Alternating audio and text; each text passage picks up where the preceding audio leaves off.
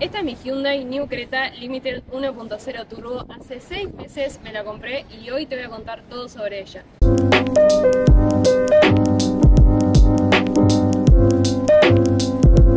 Ir por la New Creta, considerando las otras opciones que habían, fue la parte más fácil.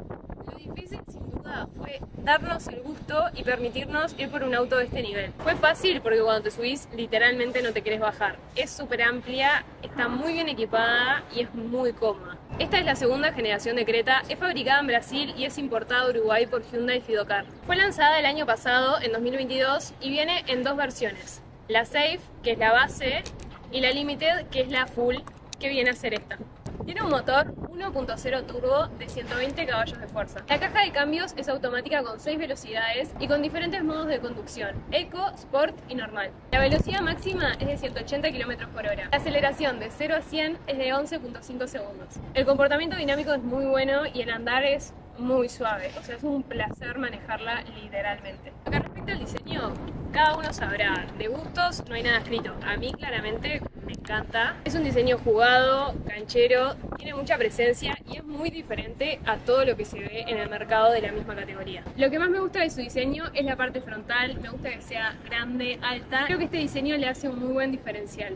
Vienen diferentes colores y la verdad ahí sí se nos complicó un poco más porque queda bien en todas las variantes.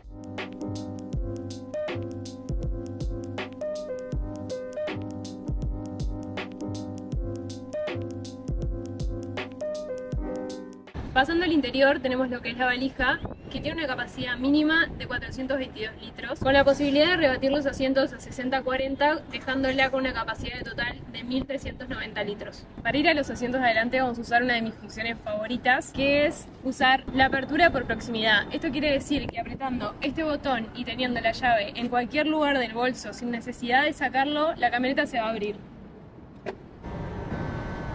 ¡Tarán!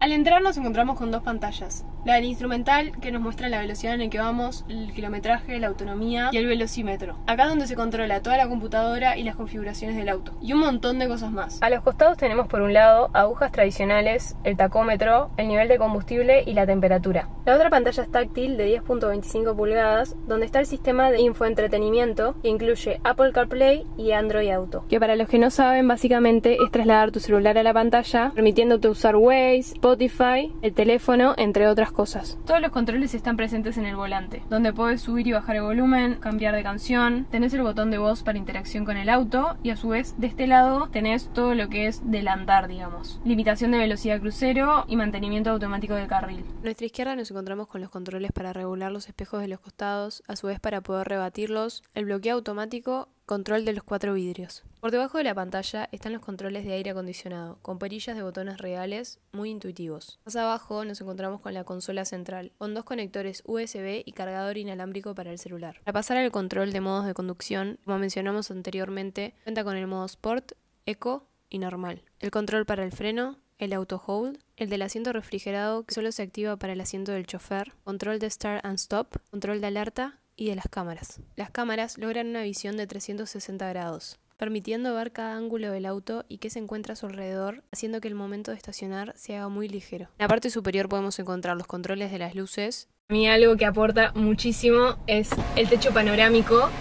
Es súper amplio, va hasta atrás, lo que genera mucha amplitud visual y a su vez permite que se abra esta parte delantera y que entre aire fresco es un plus que está buenísimo y solo viene en la edición limited.